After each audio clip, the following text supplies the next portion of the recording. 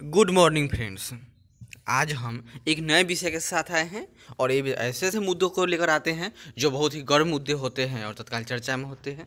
उसी में एक सबसे अच्छा मुद्दा है आज का, वह क्या है? तो फास्टैग। तो फास्टैग क्या है? ये बार बार सुनने में आ रहा है। पहले हम लोगों ने सुना था पैन कार्ड, फिर आया आधार कार्ड। आधार कार्ड के बाद में आ गया जनधन आधार कार्ड आ गया। फिर हर कोई को अकाउंट खोलना पड़ गया। अब ये कहाँ से गया फास्टैग तो सुन समझते हैं कि फास्टैग है क्या। तो जब हम लोग जाते हैं रास्ते में कहीं तो रास्ते में टोल आता है तो टोल पर पैसा देना होता है तो वहाँ पर लंबी लंबी कतारें लगी रहती हैं तो उन कतारों से कैसे निपटा जाए? तो उसी के लिए एक आया है फास्टैग। फास्टैग होगा क्या? ये जैसे हम पिक्चर में देख रहे हैं, एक कार के जो आगे का शीशा होता है, उसी तरह पर एक बार कोड उस पर लगा रहेगा चिप रहेगा, और उसी, वो कैसा होगा? एक अकाउंट रहेगा, और वो वर्चुअल अकाउंट होगा? कैसे? जैसे कि A T M pay Paytm MobiKwik Bhim U P I इसी तरह का होगा। और वो वॉलेट भी रहेगा। अगर हम उसमें चाहें तो उसमें पैसा जमा भी कर सकते हैं, या अगर चाहें तो उसको हम अपने अकाउंट से लिंक भी करवा सकते हैं। जैसे ही हमारी गाड़ी किसी टोल प्लाजे पर पहुंचेगी तो वहाँ पर उससे संपर्क हो जाएगा और वो जो एक्टिव अकाउंट रहेगा तो उसमें से पैसा जो ऊपर लगा हुआ रहेगा टोल प्लाजा पर रिसीवर उससे पैसा डिडक्ट हो जाएगा और हमारे मोबाइल पर मैसेज आ जाएगा। इस तरह से समय कम लगेगी और जब समय कम लगेगी तो टोल प्लाजा या जो टोल नाका होता है, उस पर जाम नहीं लगेंगे। तो ये तो अच्छी बात है, लेकिन समझते हैं कि पूरा मैटर क्या है। और इस तरह से टोल प्लाजा लगाने पर फास्टैग की आवश्यकता क्यों पड़ेगी तो शुरू करते हैं। अपने देश में तो फास्टैग गाड़ियों पर लगाने की बात चल रही है। जबकि अपने देश मतलब कि भारत है, वहीं दुनिया अर्थात पश्चिम देश यूरोप में, वहाँ पर तो देखिए, एक गाय फास्टैग से अटैच है। अर्थात ये फास्टैग बहुउपयोगी चीज़ है। ऐसा नहीं है कि फास्टैग का केवल उपयोग वाहनों के लिए टोल प्लाजा पर ही है। फास्टैग का उपयोग अनंत है। जैसे गाय है, गाय के गर्दन में लगा दिया गया है। इससे उस कितना दूध देती है, उस, वह कब तक दूध देगी, उसके शरीर की तबीयत का क्या हाल है, उसका टेम्परेचर क्या है, उसको क्या क्या सब तत्वों की उसको आवश्यकता है, इन सब पर ही नज़र रखा जा सकता है फास्टैग पर। ये आगे बढ़ते हैं और देखते हैं, समझते हैं कि क्या क्या है फास्टैग के उपयोग। ये सब पिक्चर है, आगे बढ़ते हैं। सरकार ने यह कहा है कि एक दिसंबर के बाद भारत के सभी टोल नाकों पर, अब टोल की अदायगी केवल फास्टैग से ही करना अनिवार्य कर दिया गया है। यह क्या कहा गया है? यानी कि अब सरकार बोला है एक भारत श्रेष्ठ भारत बनाने जा रही है, ये सब कुछ एक ही कार्ड से हो जाएगा। उसी के लिए भी एक तरीका है फास्टैग को भी अब वर्चुअल कर दिया जा रहा है। और नहीं जो को फास्टैग रखेगा, एक दिसंबर के बाद उसको दोगुना टोल प्लाजा पर दोगुना पैसा देना पड़ेगा। टोल प्लाजाओं पर, जब भी हम लोग या कोई भी जाता है तो वहाँ कलेक्शन होता रहता है, क्योंकि सरकार ने अब जितनी भी सड़कें बनवाती हैं, वो अपने पैसे से तो बनवाती नहीं। पहले वाली बात तो है नहीं। पहले सरकारें अपने पैसे से सड़कें बनवाती थी। लेकिन लेकिन इसका मतलब ये थोड़े है कि सरकार सारा सड़क बनवा देगी। नहीं हो पाता था, सरकार अपनी आवश्यकता अनुसार सड़कें बनवाती थी, लेकिन जब धीरे धीरे गाड़ी का भीड़ बढ़ता गया और सड़कें बनवाने में सरकार और समर्थ हो गई तो सरकार ने क्या किया? पहले एक P P P triple P model लाई। तो कौन सा मॉडल लाई? ट्रिपल पी तो इसका मतलब होता था पब्लिक प्राइवेट पार्टनरशिप, अर्थात सरकार और आम जनता भी मिलकर काम करेगी, लेकिन उसमें भी नहीं बनना। कारण कि पैसा सरकार लगाती थी और कोई प्राइवेट कंपनी है वो बनाती थी, वो भी नहीं सक्सेसफुल ठीक से हो पा रहा था कारण मैटर पैसा का फंस जाता था। फिर आया उसके बाद में B O T build operate and transfer उसमें हुआ कि कंपनी सड़क बनाएगी, वो ऑपरेट करेगी, अर्थात वो टोल पैसा अपने वसूल लेगी और जब उसका क्लियर हो जाएगा पैसा, तब वो सड़क छोड़ दे, सरकार को दे देगी। लेकिन उस, वो भी नहीं सक्सेस हो पा रही थी। उसमें भी मेन मैटर क्या था? पैसा पैसा कहाँ से आएगा?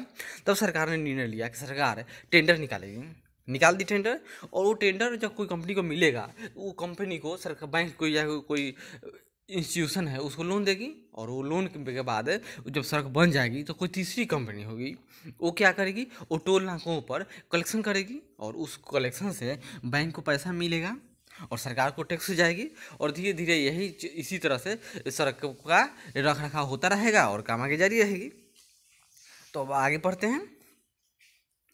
टोल प्लाजाओं पर जब भी हम लोग या कोई भी जाता है तो वहाँ कलेक्शन होता रहता है, क्योंकि सरकार ने अब जितनी भी सड़कें बनवाती हैं, वो अपने पैसे से नहीं बनवाती।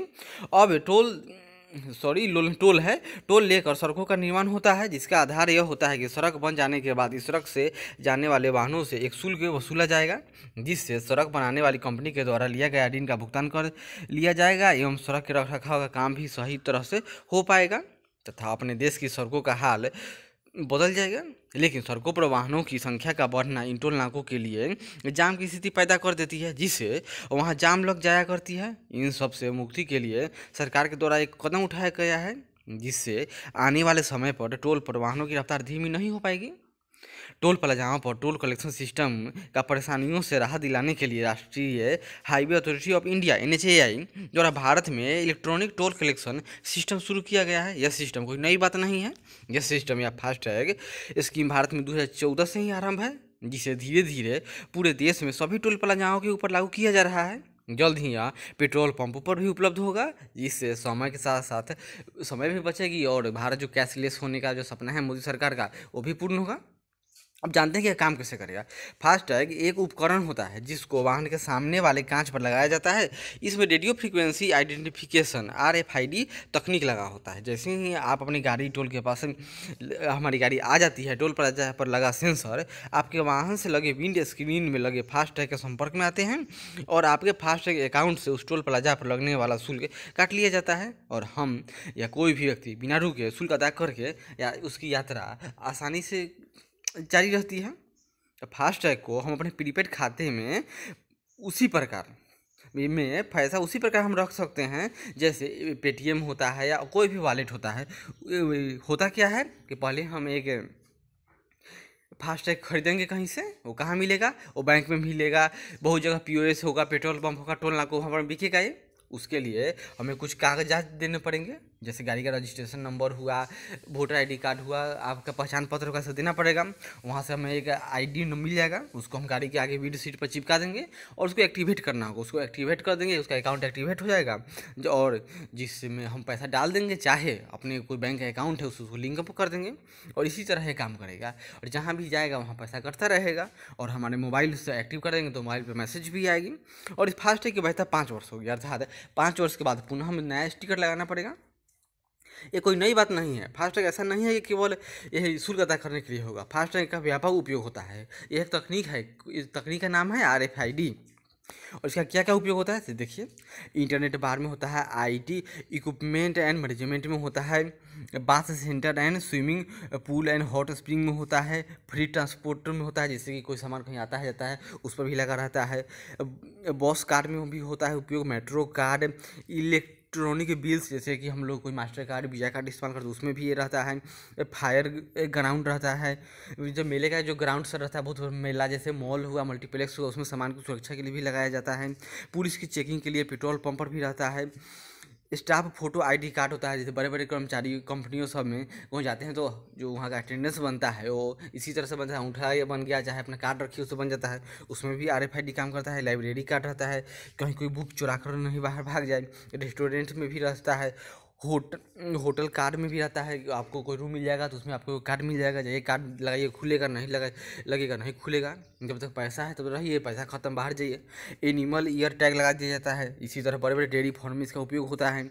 वहाँ पर प्रत्येक गायों के कान में या जो कैटल है, उसके कान में लगा दिया जाता है, जिससे उसके मालिक को पता चलता रहता है कि क्या स्थिति है।